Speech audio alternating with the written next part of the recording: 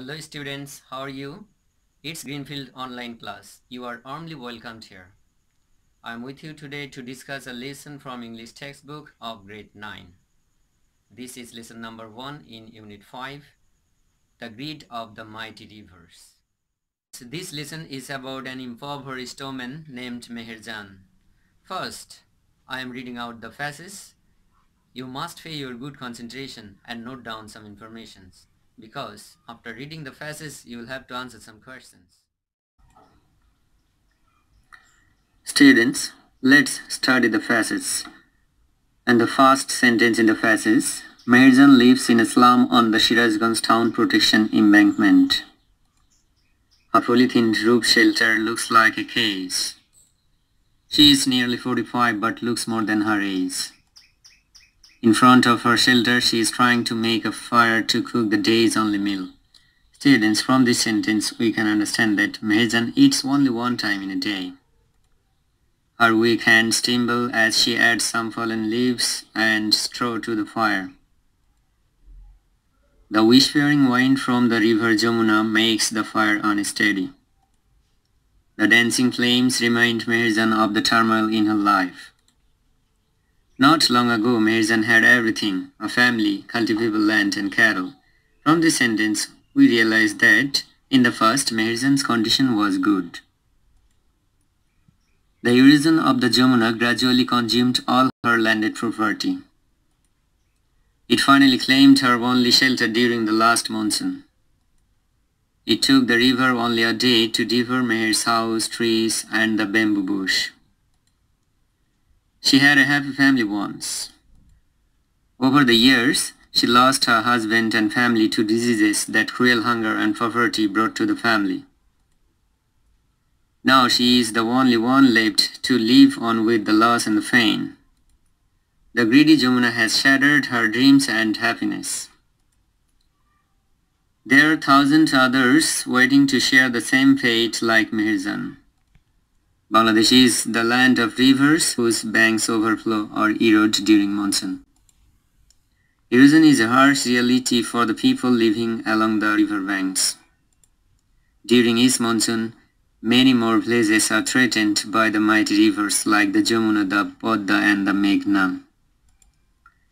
It is estimated that river erosion makes at least 100,000 people homeless every year in Bangladesh. In fact, river erosion is one of the main dangers caused by climate change. If we can't take prompt actions to adapt to climate change, there will be thousands of more Meherjans in our towns and villages every year. This is the end of the phrases. There is no alternative ways of gaining English without learning a large number of vocabularies. So let's practice some important words from these phrases.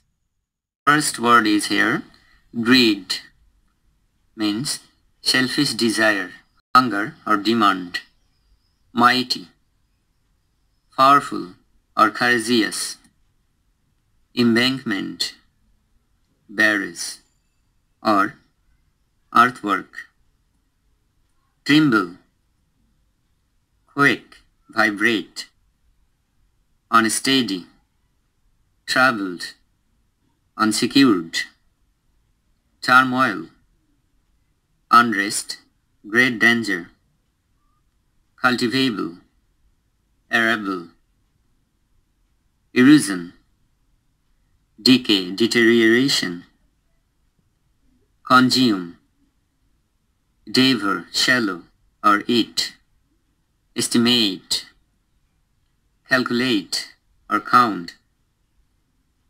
Prompt actions, immediate steps, Students, now let's practice question item 1. Choose the best answer from the alternatives. First question. How does Meherjan look? Beautiful, very thin, sad, aged. Among these four options is a word which will be the correct answer that you will have to find out. Number two, greedy Jamuna messes with instability, generosity, cruelty, charity. Number 3. Meherjan's life was dashed before the destruction of the river Jamuna. Normal, abnormal, hateful, hazardous. Question number 4 in the item number 1. The word arable is related to the word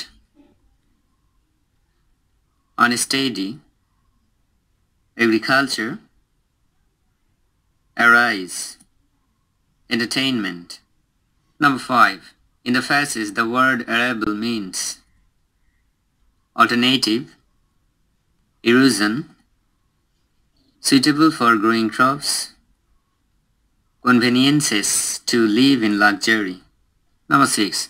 Which is the closest meaning of the word effect used in the phrases?